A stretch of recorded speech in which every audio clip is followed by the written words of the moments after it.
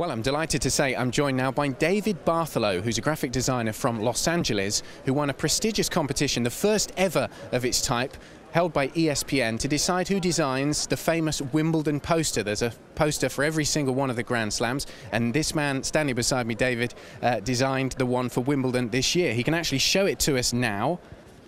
And this is David's effort. And what, I think you'll agree, what a fabulous effort it is in the traditional purple and green. And David, congratulations on winning uh, the prestigious prize. How did you come up with this uh, classic design? Uh, very tough to say. A lot of iterations, a lot of editing, a lot of throwing away, and just sort of trying to look at it objectively and see if I liked it by the time uh, it was time to submit it. And did you look at previous posters, previous ones from other years, or did you just decide to go with, obviously, with the color scheme, but your own design? Well, the color scheme was defined by Wimbledon, like in the design brief when the competition uh, was issued, and uh, I looked at a couple posters, particularly the 2012, which I thought was an interesting one.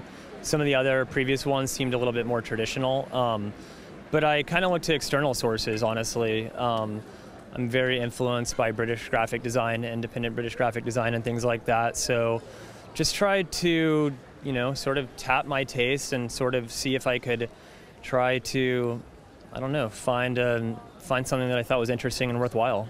And you had to impress a rather impressive collection of individuals to decide who won this competition. Chrissie Evert, John McEnroe, and Philip Brook, who's the Wimbledon chairman. Did you have any contact with them after you'd won the tour, uh, won the competition? I did not actually. I saw uh, uh, the original news story on Wimbledon.com, but no contact beyond that.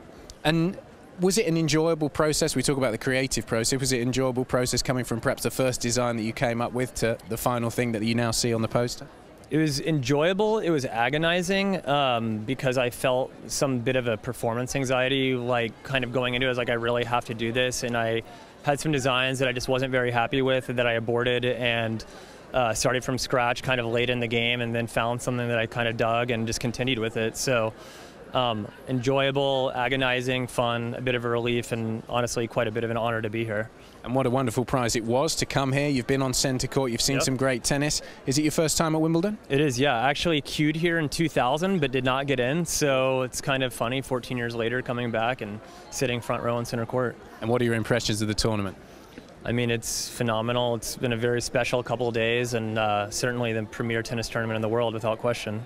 And just talk us through some of the matches you've seen so far. Have you seen to, been able to see some great matches on both I sides? Did. I saw Nadal, uh, Sharapova, and Federer on Saturday, which was a pretty epic Saturday with uh, you know three champions, former champions, all with a career Grand Slam. Uh, just saw Eugenie Bouchard and uh, about to see Andy and uh, Djokovic in a little bit here. Brilliant. Well, I'm glad you've enjoyed your time. It certainly is a wonderful design. The poster, if you are on the grounds, is available at the Wimbledon shop. And thanks very much, David, and congratulations. Thank you.